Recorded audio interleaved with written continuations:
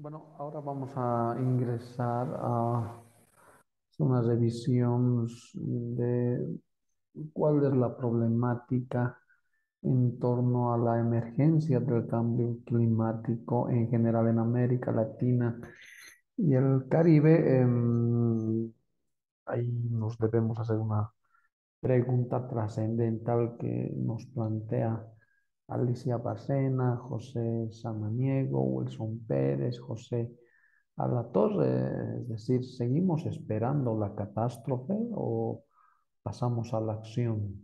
creo que esa es una pregunta tentadora a la luz de el momento que estamos viviendo, em, de las visibilizaciones del cambio climático y sus efectos.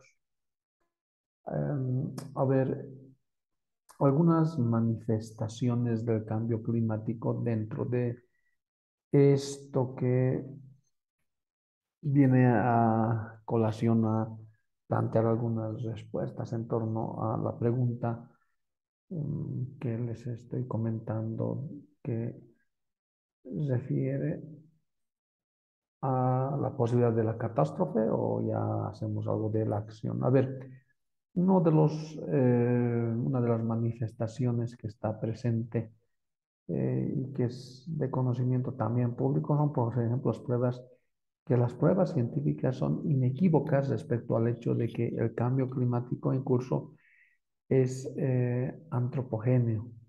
¿sí?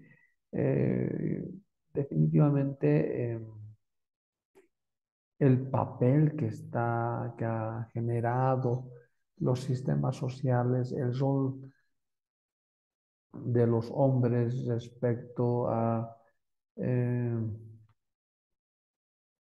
los procesos de industrialización irresponsables, los procesos de extracción de los recursos naturales eh, sin una mirada sostenible de estos, son la clara prueba de aquello.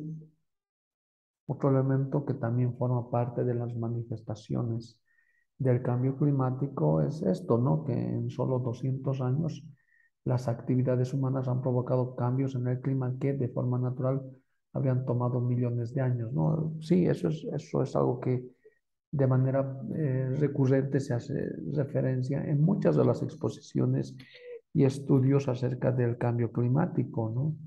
A partir de los procesos de intensa industrialización y em, extracción de recursos naturales, eh, desde donde de alguna manera se está alimentando esta crisis del cambio climático.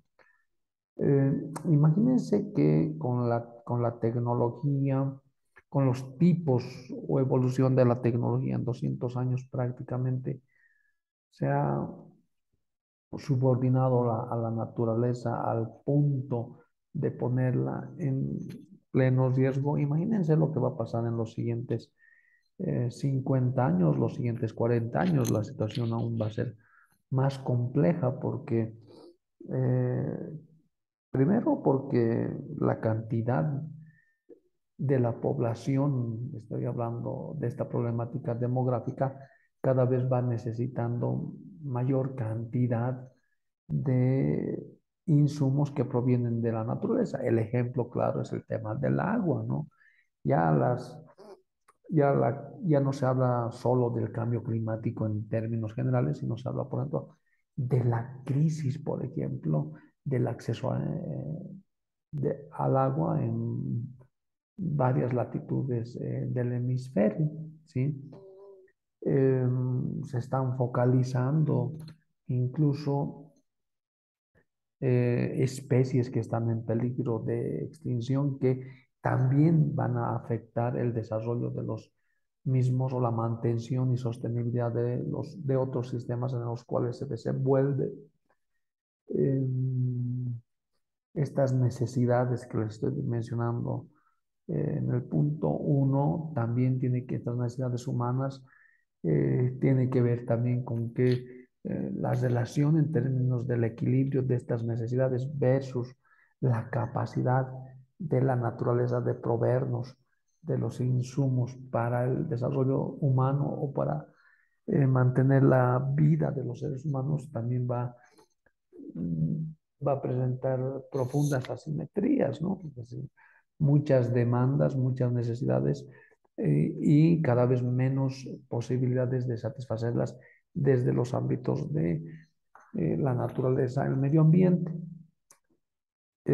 otra manifestación, por ejemplo, es la causa eh, como las emisiones de gases de efecto invernadero, que se derivan principalmente de acciones como la quema de combustibles fósiles, la fabricación de cemento y el cambio del uso del suelo. ¿no?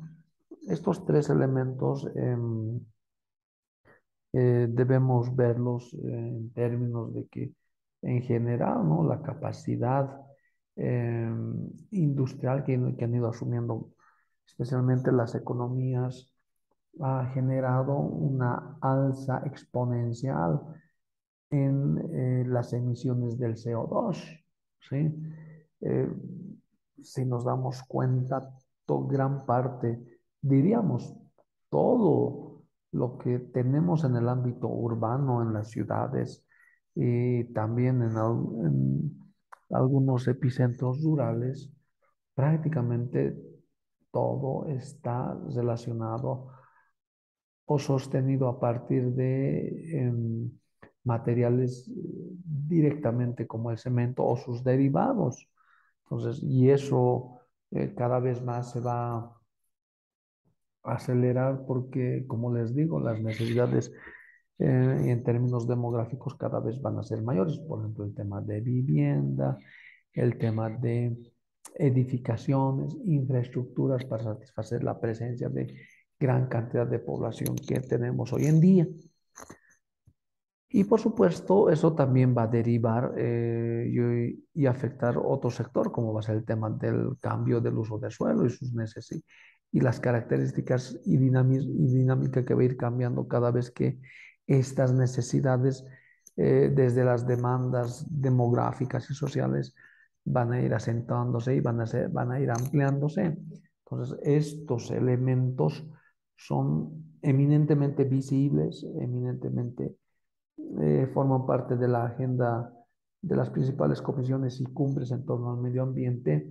Sin embargo, muchas de estas manifestaciones todavía no han encontrado un momento o un espacio muy serio en términos de la agenda global de Em, de orientación de muchos gobiernos, no digo de todos, pero en gran parte, ¿no?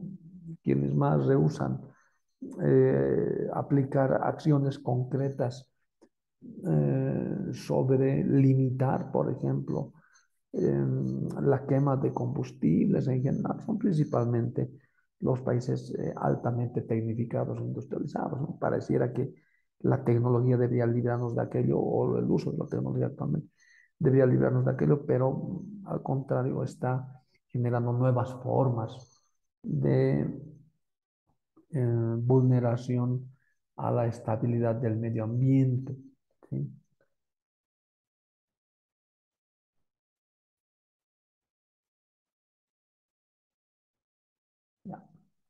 Otra de las manifestaciones están vinculadas es que a este cambio climático es que se ha producido ya un aumento de la temperatura de alrededor de, uno, eh, de un grado con respecto al promedio de la temperatura anterior a la revolución industrial iniciada en el siglo XVIII, ¿no? Y eso es lo que está planteando precisamente las referencias respecto a que en 200 años se ha eh, degradado eh, los ecosistemas en torno al medio ambiente que tienen como resultado un parámetro de medición, el aumento de la temperatura global. ¿No? Hoy día diríamos un grado más, un grado menos, pero en general, cuando estamos hablando de este un grado, implica, tiene fuertes implicancias, por ejemplo,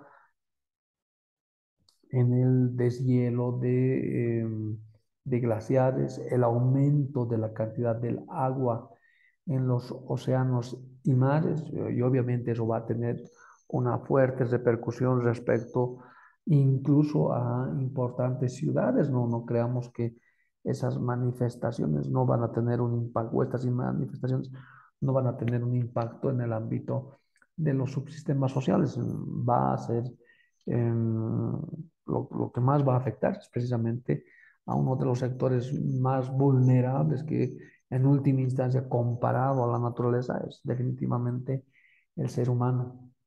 Otra manifestación presente es que de seguir incrementándose la temperatura a la velocidad de las últimas décadas, em, dentro de algunos años el sistema terrestre se encontrará en un estado sin precedente en la historia de la humanidad, pero con precedente en la historia geológica. Si las emisiones mundiales continúan, estamos hablando de las emisiones del CO2, por ejemplo, continúan creciendo con una velocidad tan elevada, la temperatura en el 2030 podría parecer a las experimentales hace alrededor de 300 millones de años a mediados de, del Plioceno. ¿sí? Eh, y eso definitivamente nos muestra eh, que estamos en un momento de profunda crisis em, en el cambio climático o en, en, una crisis ambiental y que el cambio climático prácticamente en este momento, bajo las situaciones actuales, prácticamente es irreversible. ¿sí?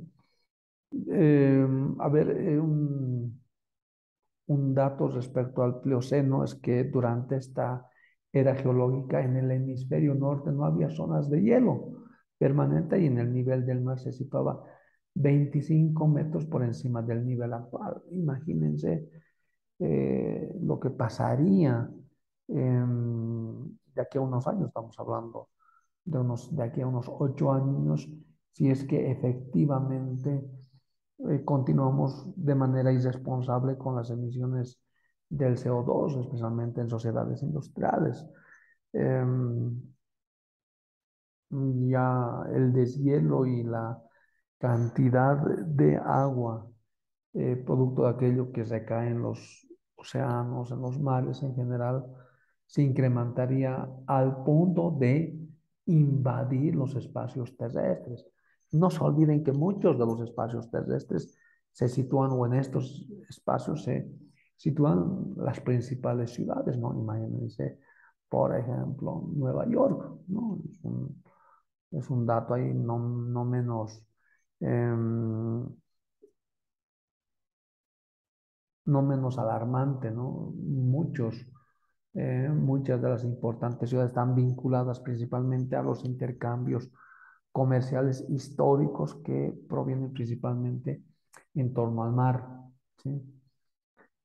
Otra de las manifestaciones del cambio climático, por ejemplo, es el aumento de la temperatura media mundial, que exhibe grandes variaciones locales, eso es cierto, ¿no? Sobre todo en, hacia las latitudes altas. Esto se manifiesta en la modificación de los patrones de precipitación, lo que les decía, ¿no? El aumento del mar, la reducción de la criosfera y la intensificación de los fenómenos extremos, que eso sí estamos viendo, ¿no? Es cierto, ¿no? Mucho depende de que estos factores o, estos, estas manifestaciones muchas veces varían de latitud a latitud, pero si son eh, agregadas y vistas en general, eh, diríamos que estamos ante fenómenos climáticos extremos, ¿no?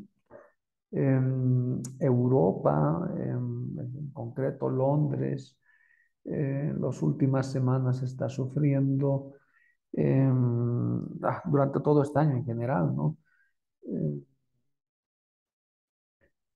O está manifestando temperaturas que están por encima de los 36, 37, hasta de los 40 grados. Y eso definitivamente ya es una condición extrema. Eh, por supuesto que son eh, momentos o son escenarios que definitivamente están siendo producto o son el resultado principalmente de la vulneración a la dinámica y a la estructura de los ecosistemas, incluso los ámbitos urbanos han ido desarrollando sus propios ecosistemas. Y por lo tanto, a pesar de que esos espacios estaban, diríamos, artificialmente concebidos, eh, tienen en algún momento un límite, incluso en términos de mantener eh, la sobrevivencia o el hábitat de las personas, ¿sí? A pesar de su condición artificial, ¿no? Que ya prácticamente ya las consecuencias son incalculadas. El problema central es que la velocidad del calentamiento global y sus consecuencias rebasan la capacidad de los sistemas sociales y económicos para adaptarse a ese cambio. Eso es lo que estoy diciendo en este momento, ¿no? Eh, dando lugar a una distribución muy regresiva del impacto.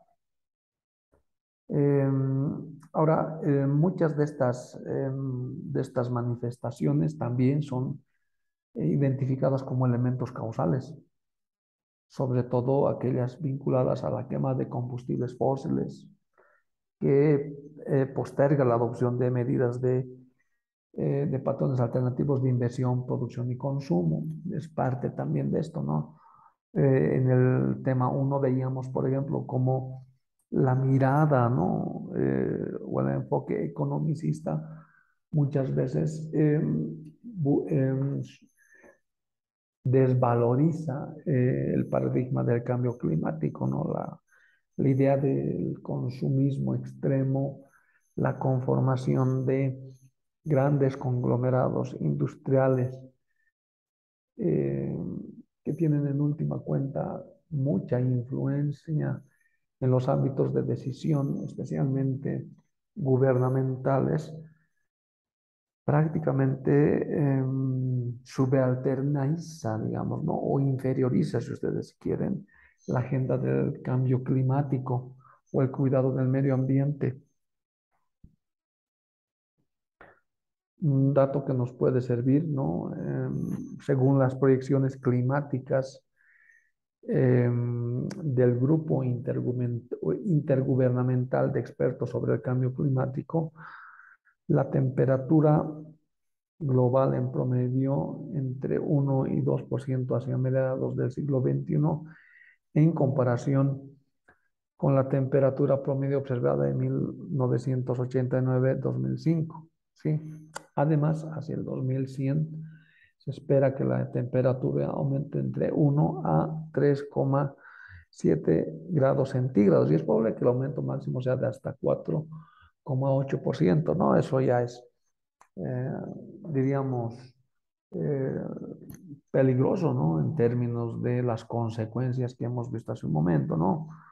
vuelvo a repetir, incremento del agua en los océanos y mares, deshielos eh, en las olas donde histórica y tradicionalmente se tenía, eh, climas eh, que mantenían ecosistemas rígidos y formas de vida acordes a aquello, desequilibrios en las formas de precipitación, aunque no crean ustedes, incluso las temporalidades de la lluvia o de humedad en general, eh, claro, ambos presentes en distintos momentos, eh, también eh, forman parte del el funcionamiento de muchos ecosistemas, ¿no? Y eso forma parte de también las interrelaciones con los ámbitos sociales, ¿no? O con los subsistemas de orden social. Un elemento que de alguna manera también involucra el cambio climático, por ejemplo, es la paradoja temporal, em, que en el caso del, eh, de esto que estamos revisando hoy en día, es un proceso cuyos efectos eh, surgen a largo plazo. No obstante, aunque los efectos sean difíciles de identificar cada vez, hay más conciencia de que su solución requiere actuar en lo inmediato y atender simultáneamente los procesos de mitigación y adaptación. Eh, sí, eso es cierto, ¿no? Es decir, em, creo que algo así lo mencioné en el tema 1. Si nos damos cuenta, em, en nuestros entornos, en nuestras convivencias habituales, es un tanto ambiguo identificar, por ejemplo, eh, el cambio climático en sí, porque obviamente eh, nuestra mirada o la mirada que tenemos eh, es una mirada sumamente micro en términos de la gran perspectiva que involucra los ecosistemas, ¿no? especialmente quienes interactuamos constantemente en general en ámbitos urbanos. ¿no? Si bien es difícil identificar, sin embargo, a través de los medios de comunicación, redes sociales, es que cada vez más se está socializando la conciencia. No sé qué tanto se está asumiendo esa conciencia en eso. También hay que ser muy sinceros. Eh, discrepo un poco con lo que dice en este momento Balsena, Samaniego Pérez y a, y a la Torre, ¿no? En términos de que cada vez está asumiendo conciencia. Creo que esa conciencia más bien está llegando eh, a paso de tortuga, ¿no? Muy lento. Em, por las consecuencias y las arremetidas de la crisis eh, eh, climática que eventualmente no son atendidas con esa misma rapidez como avanzan. Em, hay una asimetría fundamental entre las emisiones y la vulnerabilidad. Por ejemplo, en el caso de América Latina em, y el Caribe, estas emisiones solo representan el 8,3% de las emisiones mundiales. Sin embargo, la región es particularmente más vulnerable al impacto del cambio climático debido a sus características geográficas, climáticas, socioeconómicas y demográficas, ¿no? Claro, em, eso es muy cierto, ¿no? Em, si bien nuestro papel en el proceso eh, capitalista, en los procesos de industrialización a gran escala, son, está muy por debajo, por ejemplo, de sociedades altamente tecnificadas e industrializadas, en Norteamérica, países occidentales de Europa, o, países orientales como China, por ejemplo, la misma India, por ir cerca de aquello, prácticamente eh, quienes, estos quienes em, aportan más, si vale el término, a las emisiones del CO2 y por tanto aportan más al calentamiento global, em, mm, tiene una relación inversamente proporcional respecto a América, que está menos, tiene una responsabilidad, si vale el término, menos del 10% de todo esto, pero por eh, las características que iba asumiendo también América Latina em, y el Caribe mm, son más vulnerables a los efectos del cambio climático, por ejemplo, ¿no? ya sea por una condición de cultura cívica, ya sea por un tema de investigación o dedicación de recursos hacia la investigación para precautelar eh, los ecosistemas, las especies en general, eh, nos volvemos vulnerables a algo que se está produciendo o que están causando en países altamente industrializados, ¿no? Por varios motivos, ¿no? Por ejemplo, eh, los deshielos que se presentan eh, en nuestros mismos contextos. Bolivia no es la excepción, pero obviamente no tenemos ni los recursos, no, no, no se destinan adecuadamente los recursos, las investigaciones, las formas de cuidado de, aquellos, de, aquellos, de aquellas cumbres que están siendo afectadas por los deshielos, por el calentamiento global y por lo tanto, obviamente ahí se demuestra cuán vulnerables somos. Em, nuestras características son socioeconómicas en aquello eh, son em, muy reducidas, ¿no? Habría que hacer un cálculo, ¿no? En perspectiva general, cuánto del Producto Interno Bruto de los países se destina, por ejemplo, a políticas de cambio climático y mantención de los ecosistemas. Yo les apuesto que es muy por debajo del 5%, ¿no? En general del PIB. En América Latina tal vez menos del 3%. Y eso demuestra la vulnerabilidad eh, al respecto, ¿sí? Em, Otro elemento que también forma parte de esta discusión es la desigualdad en, en el interior de los países. En general y a nivel nacional también hay una condición asimétrica que combinada con la del punto anterior da como resultado una doble desigualdad. Eso es muy cierto. Es decir, los pobres son más vulnerables al impacto negativo del cambio climático. ¿no? Por ejemplo, el tema del acceso al agua, por ejemplo. Es decir, las restricciones eh, de contar con una agua, por ejemplo, potable, eh, apta para el consumo humano, muchas veces es, eh, se vuelve en un factor em, negativo en términos de que son los pobres quienes no tienen precisamente esa agua, de, esa agua potable destinada al consumo humano. Entonces, pero obviamente esa escasez del agua está siendo definitivamente producto de el cambio climático y las emisiones del CO2, ¿no? Es decir, al mismo tiempo que su contribución a las emisiones de gases de efecto invernadero dentro del país es menor que de los, de los grupos que tienen mayores ingresos, por ejemplo, y esto es resultado de patrones segmentados muy diferenciados en materia de consumo de combustibles fósiles, ¿no? Entonces hay una relación asimétrica inversamente proporcional donde em, obviamente el factor pobreza acelera o incrementa los efectos negativos em, y los impactos del cambio climático en la región. Otra, la inevitabilidad y la urgencia de la adaptación.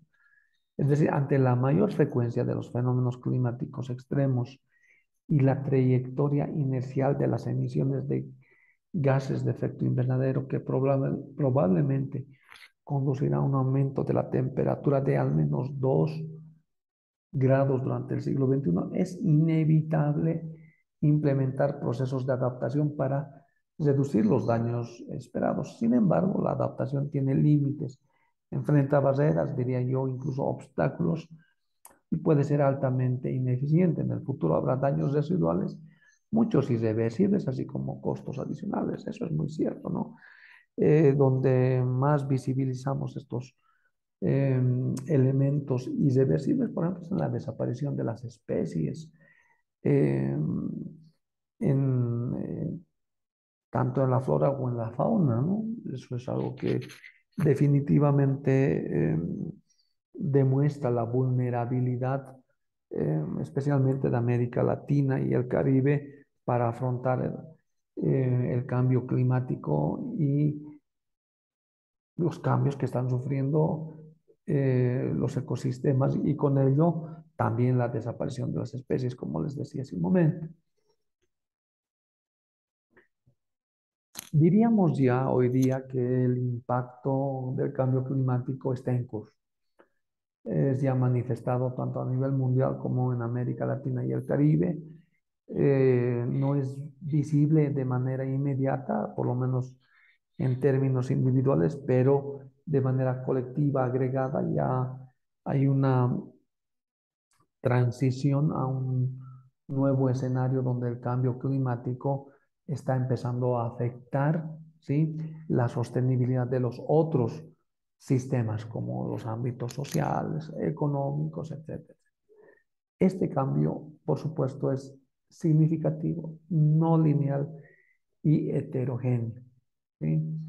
Eh, no, por ejemplo, hay algunos efectos positivos en la agricultura en la parte del sur del continente y es muy probable que aumente. Cierto, ¿no? Es decir, eh, eh, los tiempos y los lugares de las precipitaciones, producto, por ejemplo, de la lluvia, está eh, reorientándose, vale el término, eh, nuevas formas de producción en la agricultura o nuevos eh, espacios que están siendo cultivables en detrimento de otros, por supuesto. Hay una evidencia ¿no? que, de que hay efectos en las actividades agropecuarias. El agua, la diversidad, la biodiversidad, el nivel del mar, los bosques, el turismo, la salud y las áreas urbanas Em, y las estimaciones de diversos estudios sugieren que el impacto aumentará exponencialmente a medida que se incremente la temperatura, ¿no? Eh, eso es lo que nos está preocupando eh, en el impacto del, del, cambio climático. A ver, em, vamos a ver, veamos algunos eh, impactos según algunos sectores o subsectores dentro del medio ambiente. A ver, por ejemplo, en esto que nos propone Barcena, Samaniego, Pérez y Alatorre, por ejemplo, en el sector de la agricultura eh, hay una, como riesgo, veríamos la disminución de la producción y la calidad de los alimentos y de los ingresos y por lo tanto el alza de precios. ¿no? Hay una escasez en la capacidad de producción y por lo tanto por la, una relación básica eh, del mercado hay un incremento de los precios. ¿no? Impulsores climáticos, obviamente el, incremento de la temperatura, eh, lo que les decía, las precipitaciones distorsionadas o en este caso erráticas fuera del rango biológico. Eh, hay una fertilización por aumento de la concentración de CO2. Eh, otro elemento que está, o, el agua también es otro elemento a discutir respecto al impacto. Hay una menor disponibilidad de agua en regiones semiáridas y dependientes del derretimiento de los glaciares, inundaciones en áreas rurales y urbanas relacionadas con precipitaciones extremas. Esto que les decía, ¿no? Incluso los ámbitos urbanos se ven afectados por incremento em, del agua, ¿no? De los productos de, eh, de los deshielos de los glaciares. Hay una tendencia, diríamos, al aumento de la temperatura y por ende a la sequía. Eh, se incrementan las precipitaciones de manera aforme, es decir, sin una, sin una regularidad a la cual estamos acostumbrados. En cuanto a la biodiversidad y bosques, eh, eh, bueno, ya sabemos desde hace muchas décadas la desaparición de bosques, blanqueamiento de corales, pérdida de la biodiversidad y por lo tanto de los ecosistemas, ¿sí? Mm. Eso está siendo producido por el aumento de la deforestación. Hay una fertilización por aumento de la concentración del CO2, tendencia al aumento de la temperatura. En cuanto a la salud, propagación de enfermedades transmitidas por vectores a mayores altitudes y latitudes que en su distribución original. Eh, acuérdense las hipótesis en torno a los orígenes em, incluso de, em, de, lo, de la pandemia y el COVID. ¿no? Hay muchas hipótesis que están vinculadas, por ejemplo, al surgimiento de enfermedades que prácticamente son transmitidos por, eh, por estos vectores que no se encuentran o han ido distorsionando en sus formas de hábitat, ¿no? En el turismo, por ejemplo, pérdida de infraestructura, alza del nivel del mar, aparición de especies invasoras y fenómenos extremos en zonas costeras, eh, ¿cierto? ¿No? varias especies, eh, especialmente eh, en su forma animal, prácticamente buscando Mm, protegerse a sí mismos, van invadiendo nuevos u otros espacios, inclusive los mismos ámbitos urbanos. ¿No? Ya nuevamente tiene que ver con el tema del incremento del agua en el nivel del mar, las temperaturas extremas. Y por último, el tema de la pobreza, ¿no? Es decir, em, hay una disminución de los ingresos de la población vulnerable, eso es algo que es recurrente en general en este tipo de efectos, eh, especialmente en los ámbitos agrícolas y, y, esta desigualdad de ingresos.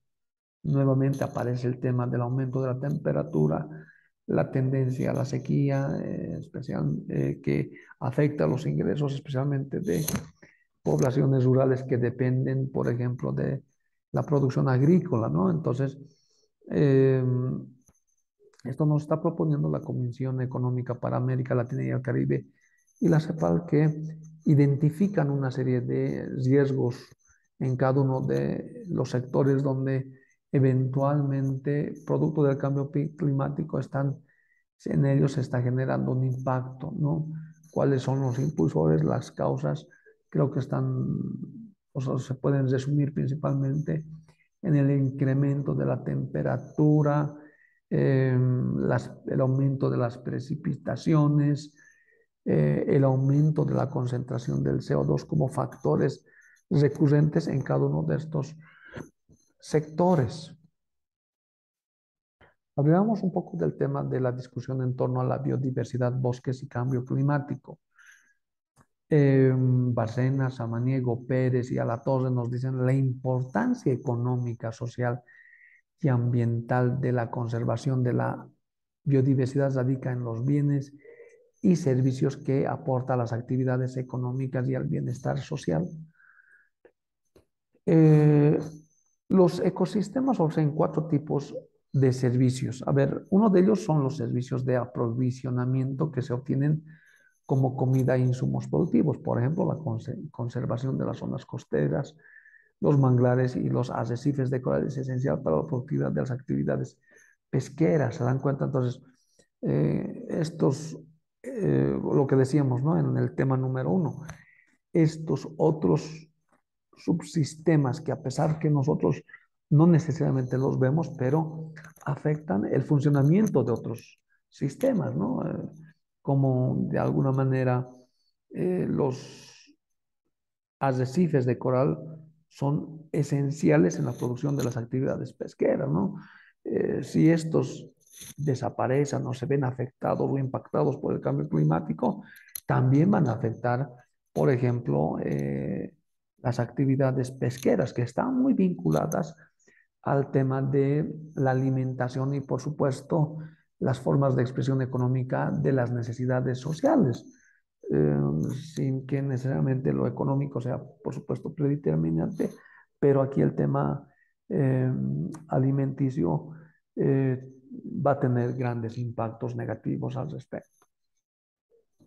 Dos, los servicios de regulación provistos a partir de los procesos naturales de los ecosistemas como la formación del suelo, el ciclo de nutrientes y la producción primaria que mantienen las condiciones de vida en, eh, en el planeta, ¿no? Los, las temporalidades, los ciclos que normalmente aparecen, las, por ejemplo, las lluvias, el desarrollo de... Em, la producción en torno al suelo y los ciclos de los nutrientes eh, tienen sus tiempos, tienen sus momentos, tienen sus espacios. Si estos se ven afectados por el cambio climático, va a haber ¿no? Eh, posiblemente precipitaciones eh, erráticas, o es decir, lugares donde exista mucha lluvia en tiempos donde no están acostumbrados y en lugares donde definitivamente no tienen las condiciones precisamente para la producción. Y eso definitivamente está generando desregulaciones en los ecosistemas y sus formas de producción. Em, los servicios de soporte provistos de manera indirecta por los procesos naturales de los ecosistemas, como el mejoramiento de la calidad del aire, la regulación del clima, el control de la, erosión, el mantenimiento de los ciclos nutrientes y la purificación del agua. Aquí hay un ejemplo que sí muy bien nos plantea Barcena y compañía, ¿no? La calidad del agua en las fuentes naturales y los flujos de agua temporales son regulados por la vegetación, los microorganismos y el mismo suelo. Eso es, muy cierto, ¿no? Es decir, em, Mm, la posibilidad de comprender la idea de que el agua eh, depende de otros subsistemas, otras, eh, otras eh, otro de funcionamiento del ámbito vegetal, de los microorganismos o del mismo suelo, involucra principalmente a la calidad del agua. A nosotros eso nos debería preocupar porque en general para el consumo humano, el agua dulce, que se encuentra en gran parte provista en América Latina, prácticamente puede ser vulnerada precisamente porque estamos afectando, por ejemplo, eh, el papel que juegan, por ejemplo, la vegetación en torno a la degradación de los suelos, eh, la deforestación de los bosques, que obviamente están, generan ¿sí? las condiciones, por ejemplo, para la producción o el desarrollo de eh, los sistemas del agua, ¿no? especialmente en términos de su calidad. Cuatro, los servicios culturales, que son beneficios no materiales que se obtienen de los ecosistemas a través del enriquecimiento espiritual, la belleza escénica, la inspiración artística e intelectual, el desarrollo cognitivo, la reflexión y la recreación en las experiencias estéticas, ¿no? Eh, por ejemplo, la belleza estética que ofrece la biodiversidad permite el desarrollo de actividades como el ecoturismo, que explica el 7% del turismo mundial, ¿no? forma parte también de esta otra discusión, ¿no? Eh, gran parte de esta mirada de, de, la sostenibilidad y el desarrollo sostenible en general tiene que ver con que eh, inclusive eh, las formas de desarrollo económico también dependen, y en este momento vemos un claro ejemplo, dependen el buen funcionamiento y la mantención de las condiciones naturales del medio ambiente, ¿no? Un ejemplo claro es el ecoturismo, ¿no? Em, que definitivamente ha ido cada vez más, está tomando mayor fuerza en términos de em, el papel que juega salir del estrés del ámbito urbano y visitar espacios que, que nos conectan a la naturaleza. Pero obviamente esos espacios deben ser mantenidos eh, en términos de mantener esa estética eh, natural, ¿no? Eh, el ejemplo claro, por ejemplo, lo son los deshielos. ¿no? El turista medio o promedio especialmente por año visita algún glaciar, visita algún nevado precisamente por esa característica, ¿no? Entonces, es probable que ya no desarrolle turismo, ya no visite determinados países porque ya no, que ese, porque ese nevado o esa eh, belleza estética natural eh, de alguna cumbre en general ya no está presente. Y eso afecta obviamente al turismo y el turismo en general forma parte de un segmento de la economía. Ahora, veamos esto, este tema que deberíamos también discutirlo y reflexionarlo a luz de eh, la educación eh, de Desarrollo Sostenible y Medio Ambiente, que es la adaptación al cambio climático. ¿Qué es el proceso de ajuste al clima real o al, o al proyectado y sus efectos? En los sistemas humanos, la adaptación trata de moderar o evitar los daños y aprovechar las oportunidades beneficiosas, ¿no? La idea es aquí, por favor, pensar en que em, los subsistemas sociales eh, prácticamente puedan moderar sus actitudes y evitar los eh, impactos negativos en el cambio o en el clima o en la naturaleza. Diríamos que en algunos sistemas naturales la intervención humana puede facilitar el ajuste al clima proyectado y sus efectos.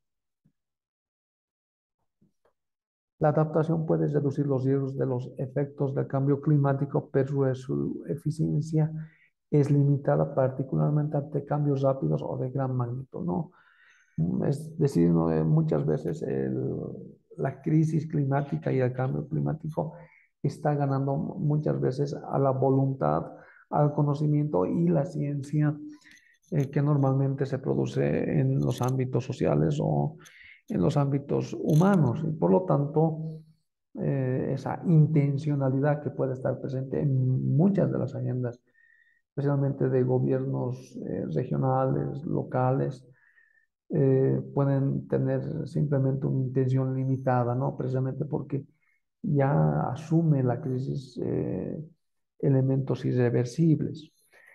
Desde una perspectiva a largo plazo y en el contexto del desarrollo sostenible, aplicar medidas de adaptación inmediatas puede redundar en que las opciones seleccionadas sean más efectivas y tengan efectos benéficos en el proceso de desarrollo.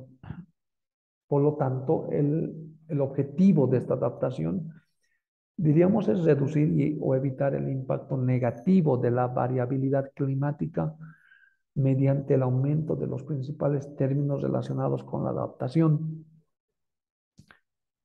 Em, esto significa determinar el impacto físico y económico neto que el cambio climático tiene en las actividades productivas, la sociedad y los ecosistemas. Eh, aquí, por favor, pensar en la idea de que es posible que reflexionar que en la medida que se afecte al medio ambiente, a la naturaleza, em, va a haber em, un impacto, por ejemplo, en las actividades productivas, en las relaciones intra y extrasociales y por lo tanto en la afectación de los ecosistemas debería formar parte de una pregunta o de un cuestionamiento que debemos hacernos permanentemente. Hay varios motivos eh, respecto a este tema. El papel para que la adaptación al cambio climático desempeñe en América Latina es diferente del que desempeña en otras regiones. Es muy cierto. Decíamos el, este tema de las asimetrías y las vulnerabilidades en América Latina por sus condiciones, incluso simplemente de, eh, de sus economías. En primer motivo es que la adaptación completa complementa la posibilidad de mejorar la calidad de vida en el medio rural con un alcance tan masivo como el que podría tener la mitigación basada en un mejor desarrollo humano. Em, diríamos, a diferencia de lo que ocurre en otras regiones del mundo, em, es en América Latina es inseparable de la mitigación y también se beneficia sin excepciones de la restauración de los ecosistemas, la recuperación de los suelos, la recuperación de la cobertura vegetal, costera y reparia, y el impacto positivo sobre la biodiversidad. Eh, diríamos también que las soluciones basadas en un mejor manejo de la naturaleza tienen múltiples beneficios en lo que respecta a la resiliencia y la sostenibilidad del desarrollo de la seguridad humana. La extensión longitudinal de la región la coloca entre las zonas de mayor productividad biológica del planeta, es decir, tiene mayor cantidad de especies, tanto vegetales como en la, fauna, en la flora, lo que favorece de alguna manera una posibilidad o, una o, algún, o algún plus en la restauración de los ecosistemas. Diríamos que eso puede darse a partir de un manejo adecuado del patrimonio natural, los ecosistemas y la biodiversidad y las cuencas hídricas aumentaría la resiliencia de las comunidades y las empresas y las naciones de la, de la región Aquí tiene que ver principalmente en el que debemos asumir eh, acciones concretas para no solamente ser un actor eh, estático en torno a simplemente no hacer nada ni a favor ni en contra de la naturaleza, sino más bien administrar y manejar la naturaleza eh, en torno a objetivos concretos en términos de su cuidado, de su mantención, de su reproducción, etcétera, etcétera, ¿no? Estoy haciendo referencia principalmente a los ecosistemas presentes en América Latina y el Caribe. ¿Cuáles pueden ser eh, algunas necesidades de adaptación y formas de abordarla, ¿no? Eh, Magri nos, nos propone algunos cinco elementos, ¿no? Por ejemplo, esta adaptación y las formas de abordarla en el, en el caso de las necesidades físicas y ambientales implicaría mantener servicios ecosistémicos, ¿no? Permanentemente hay que evaluar el entendimiento de, los, de estos servicios y, monitorearlos para, eh, para superar o evitar umbrales críticos. Otro está el tema de las necesidades institucionales, institucionales, institucionales es decir, eh, la idea es eh, que el conocimiento humano, la ciencia que produce el ser humano y la tecnología que normalmente eh, desarrolla debería apuntar precisamente a esta necesidad de adaptación. El trabajo en equipo, que diríamos, es una reflexión permanente porque permite coordinar inter e intrainstitucionalmente desde los ámbitos estatales ¿no? o gubernamentales fomentar la flexibilidad y crear instituciones robustas en términos de recursos, principalmente recursos humanos, materiales, financieros, etc.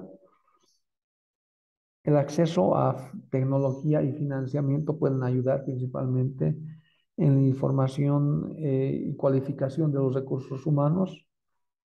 Algo que no deberíamos olvidar es que a veces pensamos que la, que la adaptación al cambio climático y el cuidado de este solo involucra al ámbito público y no consideramos el sector privado, ¿no? Y es un tema fundamental. No se olviden que el sector privado, especialmente el industrial, por ejemplo, emite o contribuye decididamente a las emisiones del CO2. Si no nos involucramos, obviamente, ellos no van a eh, hacerse corresponsables en términos de la solución, ¿no? En el caso de las necesidades sociales, ya en general, debemos pensar permanentemente en esto que decíamos hace rato, ¿no? A medida que se incremente la crisis o el cambio climático, va a afectar el doble o el triple a los sectores en condiciones de pobreza. Por lo tanto, debíamos reducir las condiciones de pobreza y desigualdad en América Latina. Em, la idea es promover la estabilidad de los medios de vida y las estrategias de subsistencia, otras formas alternativas de vinculación con, el, eh, con formas de, económicas y de producción que les permitan a las poblaciones o a las personas poder mantenerse en, por encima de, los umbrales de pobreza. Y eso definitivamente tiene que ver con el desarrollo de eh, información y el acceso a la educación, ¿no? Como elementos sinérgicos eh, a la hora de eh, pensar en un impacto en el mediano y en el largo plazo, pero de manera sostenida, por supuesto. A ver, ¿qué es lo que de alguna manera em, se, se estudió o se abordó en el Foro Económico Mundial?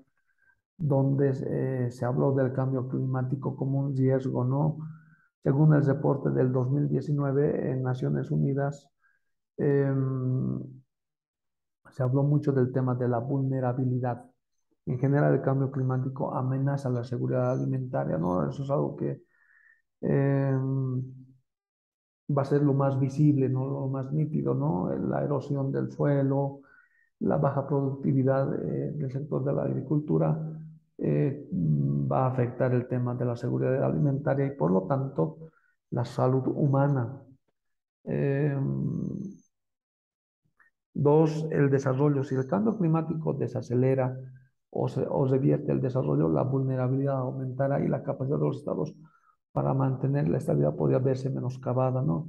Claro, todavía no están, eh, no estamos asumiendo este vínculo que ya nos está presentando Barcena, Samaniego Pérez y a la Torre a través de esta, de esta cita en torno al Foro Económico Mundial, ¿no?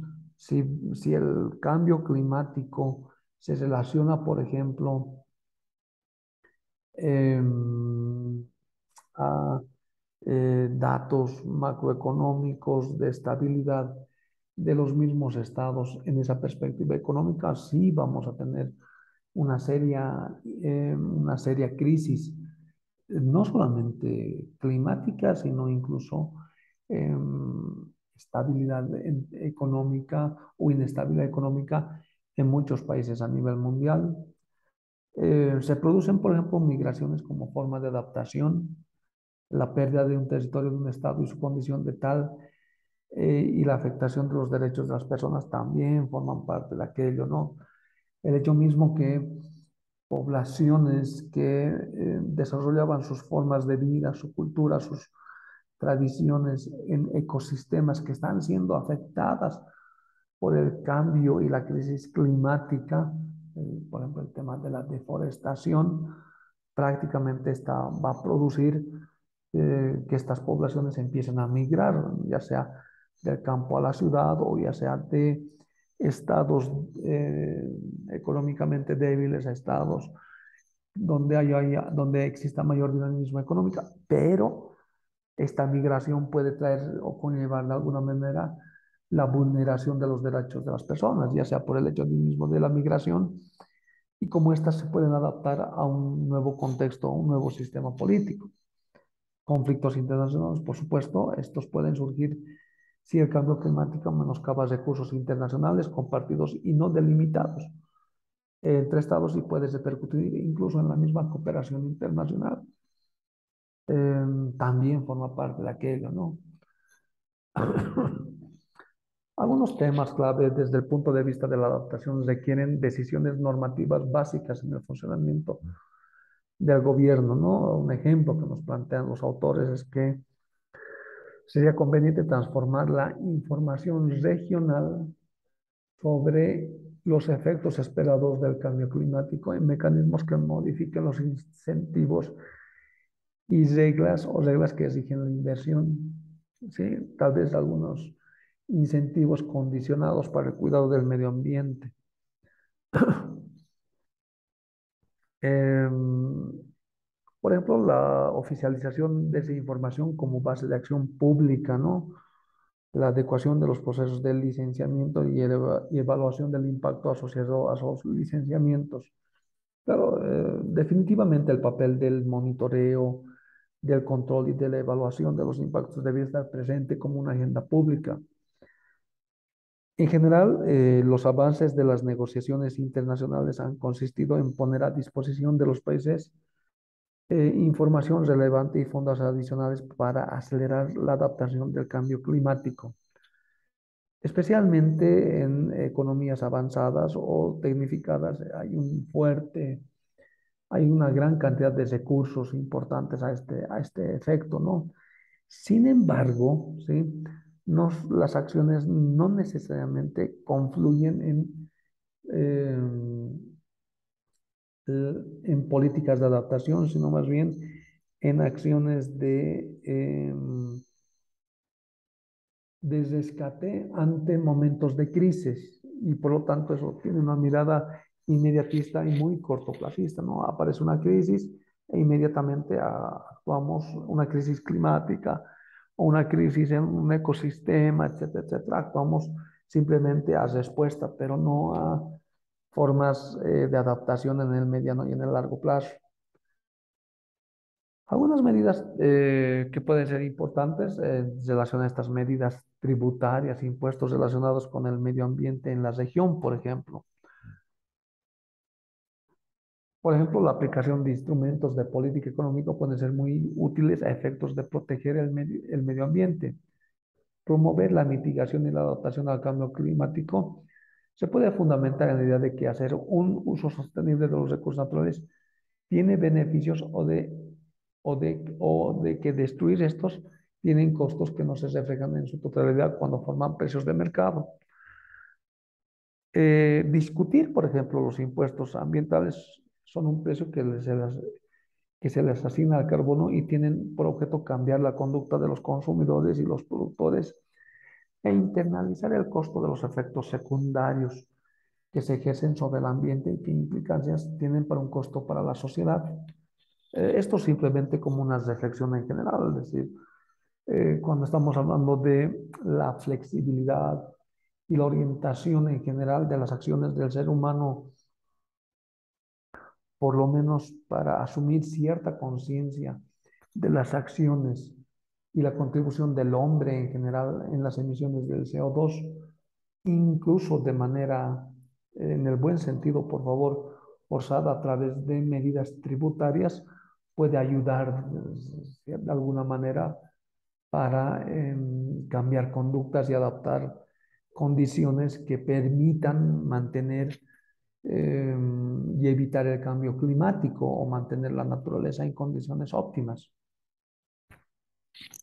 En ese sentido, o en estas últimas reflexiones donde em, quiero mostrarles un video eh, del Banco Mundial eh, respecto al tema de los vínculos de financiamiento del cambio climático y cómo esto de alguna manera también debería formar parte de alguna alternativa solución especialmente en países como o en contextos como América Latina, ¿no? Donde bien no hay una fuerte institucionalidad, pero sí puede ser eh, un espacio de gran acogida hacia eh, soluciones creativas e innovadoras, ¿no? En perspectiva del desarrollo sostenible.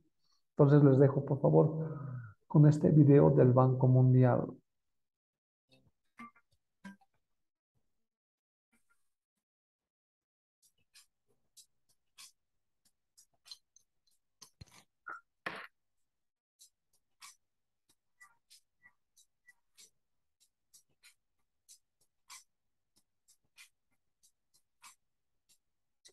Este evento está siendo transmitido en, del grupo clima en el mundo, trabajamos para reducir las emisiones de gas efecto invernadero, una tarea difícil, y también realizar adaptación, trabajar en adaptación para que los países se preparen al cambio climático. Trabajamos en otras áreas como los plásticos marinos, conservación, todos bienes públicos eh, globales, dinero que viene de la comunidad global bienes públicos globales que son metas de toda la comunidad. Eh, enfrentamos la guerra de Ucrania ahora, que está teniendo un efecto mm, enorme en el flujo de caja, en tragedia humana, que ocurre en la propia Ucrania, precios más altos de alimentos, fertilizantes, de combustibles en todo el año, lo que estresa presupuestos como el presupuesto fiscal de Indonesia y están causando estrés eh, arriba de una pandemia. Europa está cambiando su pensamiento en algunos aspectos de estos bienes globales públicos, como su trabajando con el gas natural, una fuente importante de energía, también la energía nuclear, una fuente importante de, uh, para ele producción eléctrica. Estos son algunos desafíos que enfrenta el mundo como un todo.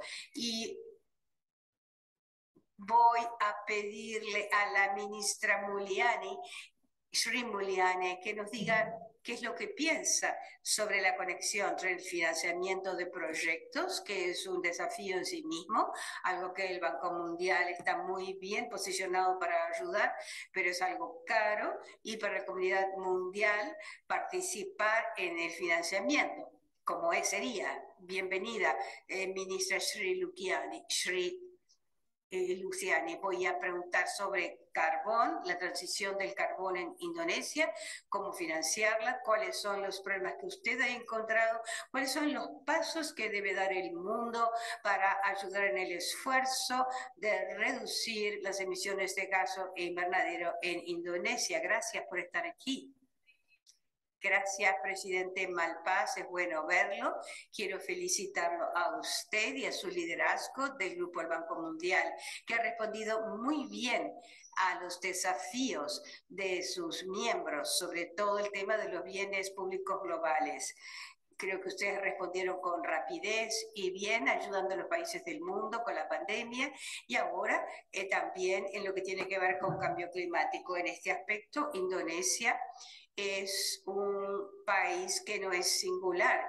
Tenemos un compromiso de nuestras NDCs o compromisos nacionales para reducir 29% de la emisión de, gas, de carbono y 41% con apoyo de la em, eh, comunidad internacional.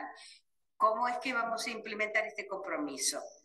El principal contribuyente, claro, para este eh, puntos es el sector forestal y de energía. En energía, Indonesia tiene, es rica en recursos naturales y utilizamos mucho el carbón. En este momento, eh, Indonesia eh, tiene una mezcla de combustibles, pero el carbón es más de 60%. Para reducir el dióxido de carbónico de la producción energética tendremos que enfrentar el problema de reducción del uso del carbón y la, la demanda por energía va a seguir aumentando. Entonces tenemos que construir uh, una sustitución para el carbono y satisfacer también las nuevas demandas. En lo que tiene que ver con carbón, el tema es cómo resolver el tema. Estamos diseñando un mecanismo de transición energética. Indonesia, como muchos otros países del mundo, eh, que eh, sufrió mucho por la pandemia, la demanda cayó en ese momento. En este momento, Indonesia tiene 270 gigawatts eh, de producción, esa es la capacidad instalada, la demanda es más baja. Dos, 20, tenemos 20 gigawatts de exceso en suministro. La, vamos a crear, construir capacidades adicionales. Eso lo hicimos en los últimos cinco años y tenemos 13 gigawatts más por esa construcción. Para reducir el uso de carbono, tenemos que ver cómo um, cerrar eh, estas eh, usinas de carbono. Ya hay una contracción. En Indonesia tenemos eh, compras individuales de energía por el sector privado. Entonces, parte de la energía que produce nuestra empresa estatal, PRN, es comprada por el sector privado para, y están eh, contratando, comprando la energía de la empresa estatal PRL. Son eh, contratos de 20, 30 años. Si queremos dejar de usar carbón, tenemos que reducir el plazo de los contratos. Identificamos 5 gigawatts de las usinas de carbón con la calificación de que son ah, antiguas, tienen baja eficiencia y contaminan más. Entonces, en el sector de electricidad generado por el carbón, ya identificamos ah, algunas usinas. Ahora, ¿cómo sacarlas, eh, cómo retirarlas? La empresa PRN no tiene que negociar contratos, simplemente cierra estas usinas antiguas y las sustituye por renovables. Pero aún en este caso hay que asegurarse que la energía renovable sea eficiente. La tecnología y el financiamiento tienen que estar asegurados. Por eso es necesario invertir en energía renovable. Pero para de retirar las usinas de carbón antiguas que pertenecen al sector privado, ahí hay que renegociar los contratos, porque los contratos existen, es, normalmente se, son el contrato es inmediato, se contrata y se paga, se compra y se paga y se compra. Entonces es importante ver eh, cuál es el plazo del contrato, cómo se va a reducir y esto tiene que ser compensado para que no sea visto como una violación del contrato. Nosotros tuvimos una experiencia muy mala y mm, lo tuvimos que llevar al Tribunal Internacional y perdimos el caso.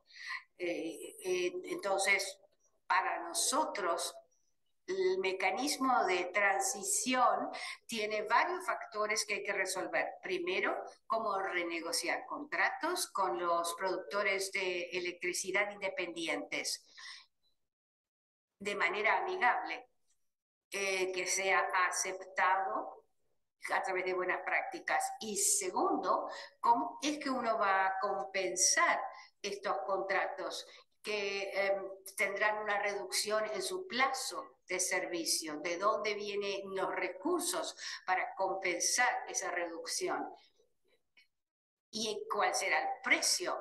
Va a ser un precio asegurado. No olviden que a veces el, eh, carbón eh, no es eficiente. En el pasado el contrato no, no era el mejor interés de nuestra empresa eh, PRN. A veces el precio puede ser más bajo de los precios establecidos. Entonces, la situación es que a nivel técnico hay problemas que hay que resolver. Luego, saber de dónde viene el dinero para retirar estas plantas de carbón. Trabajamos aquí con los bancos mundiales de desarrollo, el Banco Mundial, el Banco Asiático de Desarrollo, para ver qué tipo de estructura eh, se podrá utilizar.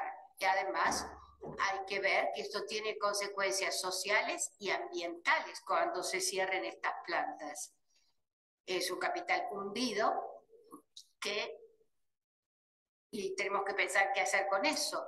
Y también reemplazarlo por renovables significa que hay que gastar más capital para crear estas plantas. Entonces es mucho más localización, más eso que transmisión y distribución. Indonesia es un archipiélago. Entonces la demanda está en Java, pero también hay que construir para las otras islas Sumatra y Canumatra, eh, que tienen su propia fuente de energía renovable. Gracias por esta explicación. Es relevante porque hay tantos países que enfrentan problemas semejantes, sea Vietnam, Turquía, Sudáfrica, la dependencia del carbono, de la importación de carbono o del propio carbón y el alto valor es un valor que ha aumentado debido al aumento del precio de la energía de otros eh, productos. Usted utilizó en Glasgow, usted utilizó un número muy grande cuando habló del costo de eh, la entrada de recursos necesarios para esto.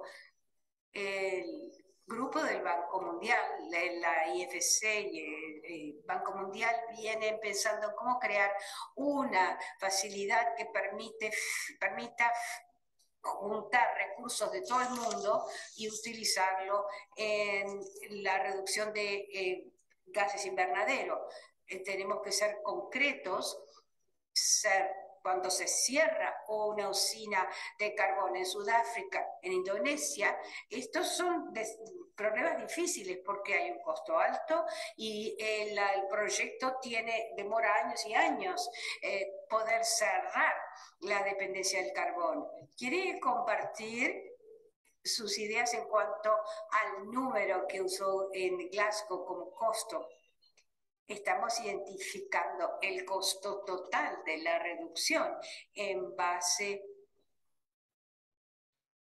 a que a 286 billones de dólares fue el número que llevamos a COP podemos tener, claro, una eh, reducción menor, es decir, un precio menor usando el área de deforestación.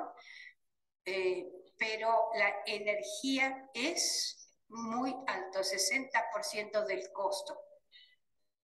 El tema en cuanto a cómo estructurar estos proyectos tiene razón. En este momento el precio del carbono aumentó llegando a más de 400 por tonelada. Eh, y esto es muy, muy alto, pero ahora estamos viendo que, se está, que está bajando de nuevo. En Indonesia somos los principales productores de carbón del mundo y eh, lo exportamos.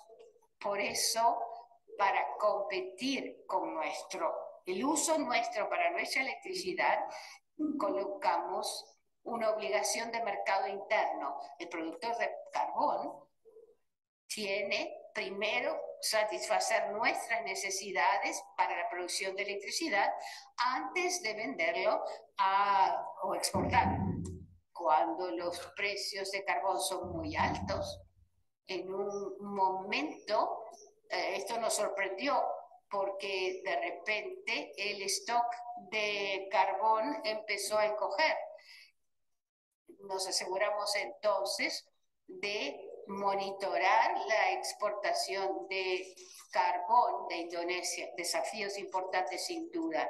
Vamos a hablar hoy de esto en otros paneles, eh, a respecto de estos temas, pero lo que realmente me parece importante es el costo y la complejidad de los propios proyectos, en su larga duración. El Banco Mundial puede ayudar a estructurar o a pensar en tener compromisos que duren tantos años, eh, compromisos entre gobiernos y el sector del carbón, pero es problema, problema que usted menciona, que el carbón se usa o en Indonesia o se exporta y se quema en otro lugar. Esto es en sí mismo un problema gigante de bienes públicos comunes para el mundo, como es que uno evita el uso de estos productos que detienen carbono, dióxido de carbono, y hay que verlo directamente en el bienes globales públicos y su financiamiento. Sí, David, es muy importante para todos los países porque cuando hablamos de bienes públicos globales y cambio climático, lo más importante es tener una solución que funcione, eh, tener decisiones de inversión y compromiso, tener una transición accesible. O sea, el capital tiene que ser barato suficiente para compensar este compromiso de capital que es tan alto y accesible también en cuanto a disponibilidad de financiamiento. El Banco Mundial está en una situación muy buena para ser catalizador, también financiador para juntos los miembros del Grupo Mundial, el BIDA, AIDA y IFC. esto yo creo que es el papel más importante del grupo, ayudando a los países miembros a diseñar una transición buena, sólida en, en, el sector energético. Gracias, muchísimas gracias Miriam, le devolvemos la palabra. Soy Charmaine Light de Kingston, Jamaica esto eh, son las reuniones de primavera del Grupo del Banco Mundial y el FMI. Gracias, David, Sri Muliani, por esas palabras y esa actualización tan interesante sobre lo que viene cambiando desde que nos conectamos el año pasado. Compartan sus ideas eh, sobre este tema y los siguientes. Pueden usar el hashtag Finance for Climate Pueden seguirnos en Twitter, Instagram, LinkedIn, Facebook y pueden también colocar a comentarios en live.worldbank.org. Tenemos peritos que pueden contestar en las cuatro idiomas. Vamos a verlos. Ellos ya están trabajando contestando las preguntas las preguntas más eh, populares, eh, más planteadas, serán eh, planteadas algunos, dos peritos que las van a contestar. La pregunta que tenemos es, ¿cuánta inversión es necesaria por año para limitar el calentamiento global, aumentar la resiliencia y apoyar una transición global a emisiones net, cero neta? ¿10 mil millones por año? A, B, 100 mil millones por año, más un trillón de dólares por año. Y la última opción D, más de 2 trillones de dólares por año. Pueden votar en este minuto en live.worldbank.org y al final del evento veremos los resultados. Antes de la próxima próximo diálogo vamos a tener expertos que nos hablarán exactamente cómo funciona el financiamiento para el clima. Cada país es diferente todos tienen que enfrentar los precios de clima, cómo tener las inversiones adecuadas para ayudar a los países a alcanzar sus objetivos de desarrollo. El financiamiento para el clima aumenta, pero no con rapidez suficiente. En la próxima década hay que movilizar trillones de dólares para que la gente tenga acceso a agua, comida energía limpia, movilidad, salud, educación y protección contra desastres y calamidades naturales. Primero, gastar de manera inteligente. Subsidios ineficientes eh, pueden... lo que hay que tener es construcción verde.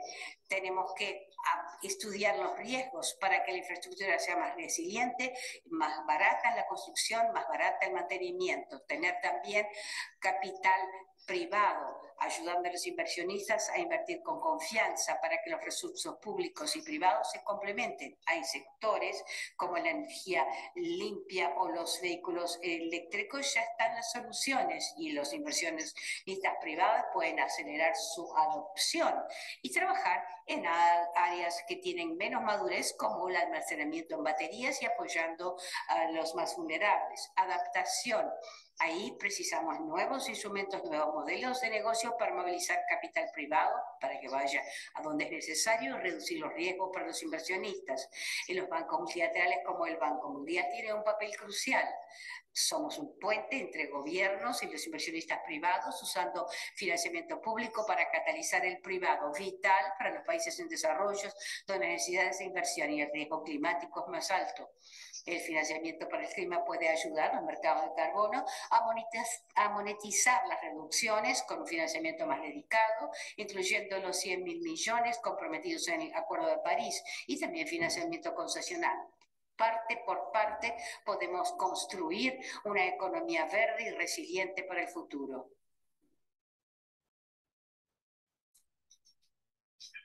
Hola, soy Pirong Prom de Phnom Penh, Cambodia. Estas son las reuniones de primavera del Banco Mundial y el FMI.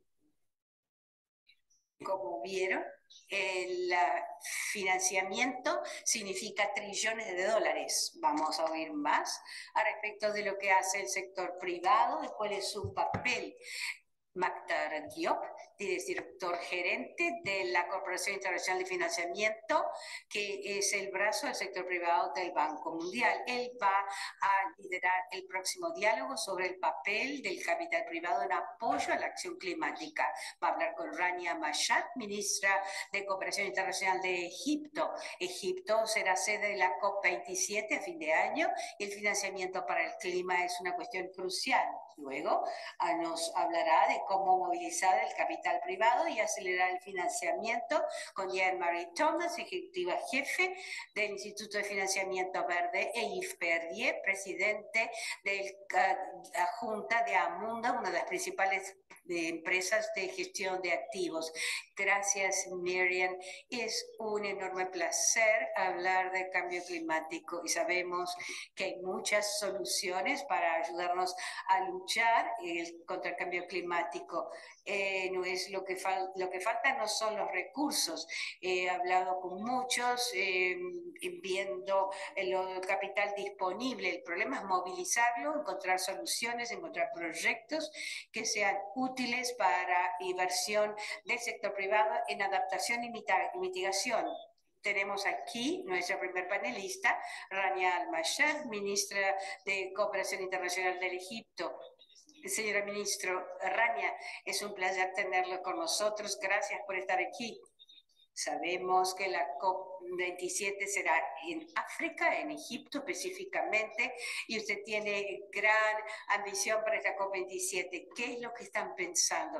Gracias. Sin duda, es un eh, diálogo muy oportuno. La presidencia de Egipto tiene como foco tres mensajes principales. Imparcialidad, somos una nación africana, pero esto es un una COP para el mundo, queremos mantener esto. Segundo, como dijo usted, adaptabilidad, adaptación, resiliencia de gran importancia para muchos países en desarrollo y la última crisis que estamos enfrentando, la guerra entre, de Ucrania, ha mostrado la importancia de la seguridad alimentaria y todo relacionado a eso. Y tercero, lo que esperamos que sea, que sea un hub de implementación, como pasar de compromisos a implementación y a acción. Mensajes claves de Egipto y esperamos que esto se concrete en, en noviembre en Sharm. Mm, mm, como dice usted, hay muchos compromisos en la COP26. Ahora queremos ver ejecución. Eh, la transición energética está muy alta entre las prioridades de la agenda. La seguridad del agua es otra parte importante de su agenda. Y todo lo que está relacionado a adaptación, que a veces se deja de lado en estos diálogos. Cuéntenos, respecto de qué puede hacer el sector privado para apoyar estas prioridades. Quiero reconocer la importancia de la IFC para movilizar el sector privado e impulsionar estas inversiones. Además de la COP, el trabajo que se realiza para eh, trabajar con el sector privado es importante. En nuestro caso, la transición energética empezó hace algunos años y cuando miramos la estrategia energética integrada sostenible con KPIs para energía renovable claros en el país, el gobierno em, estructuró la forma de traer inversión del sector privado y la CFI consiguió traer inversiones para apoyar la transición energética. Esto reunió un proyecto muy bueno, el PINDAM, una de las plantas solares mayores de la región, y estos son ejemplos que pueden ser replicados en otros países también muestran cómo los diferentes actores pueden reunirse, el gobierno tiene un papel como eh, con reformas legislativas y regulatorias, la disposición del sector privado, instituciones financieras internacionales, tanto para financiamiento como para capacitación técnica. Son ejemplos que pueden ser replicados. En nuestro caso, Egipto concluyó su estrategia 2050 para el clima y esta incluye los planes para pasar a nuestros NDCs o compromisos nacionales en 2050 en agricultura, transporte y muchos de los sectores. Y la idea de la estrategia 2050 para el clima no está separada del desarrollo y el grupo del Banco Mundial eh, con el Grupo Mundial, está, somos un país piloto en el CCDR, que es el informe sobre clima. No se puede pensar en el clima como algo separado del desarrollo de un país. Por eso es que hay tanta integración entre los diferentes sectores y las diferentes metas. Y quiero concluir diciendo que dado a que la asistencia oficial de desarrollo es muy importante para muchos países, en nuestros país la cartera es enorme, son 26 mil millones de dólares y dada la importancia de los ODS en la agenda de los países, mapeamos eh, la asistencia eh, oficial a los ODS. El 13 es acción climática y hay 12 mil millones de dólares dedicados a eso, 2.8 adaptaciones, 7.8 mitigación. Entonces vea el desequilibrio y me parece que en el futuro queremos impulsar más la agenda de adaptación.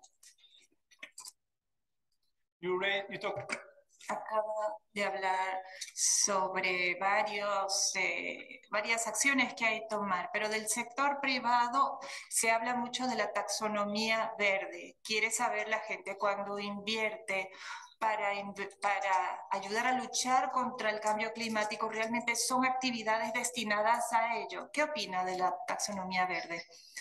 Creo que tiene toda la razón, es cierto, la conversación sobre el clima es entre muchas partes interesadas, incluye gobiernos, eh, sector privado, ciudadanos, la comunidad internacional, y por eso es tan importante desde la perspectiva del gobierno tener una visión clara y comunicarla. Y si hay algún impedimento legislativo para la participación del sector privado, abordar ese problema. También es muy importante el financiamiento innovador uno de los logros de Glasgow fue que el sector privado participó mucho en la agenda y vimos muchos compromisos del sector privado.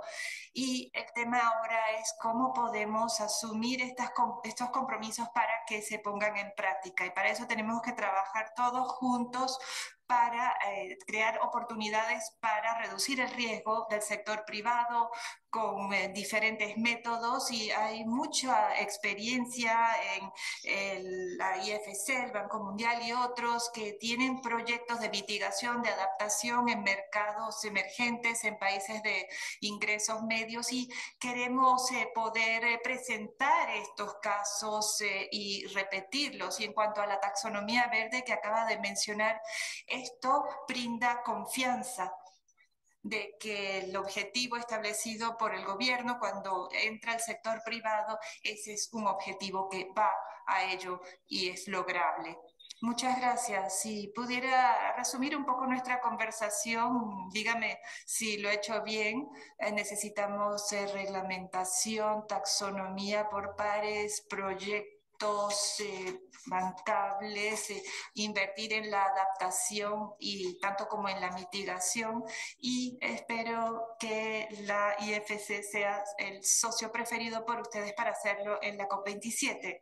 ¿Lo he dicho bien? Sí, lo ha recibido muy bien.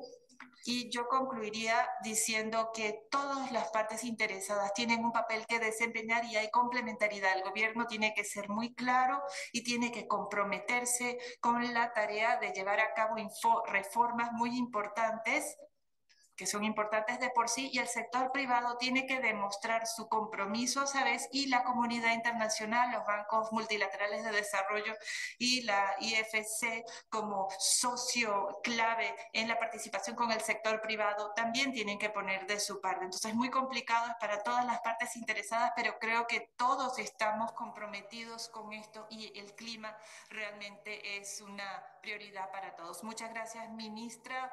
Un placer hablar con usted. Presenta muchos temas eh, importantes, la mitigación, eh, la necesidad de equilibrar la eh, inversión, las finanzas combinadas.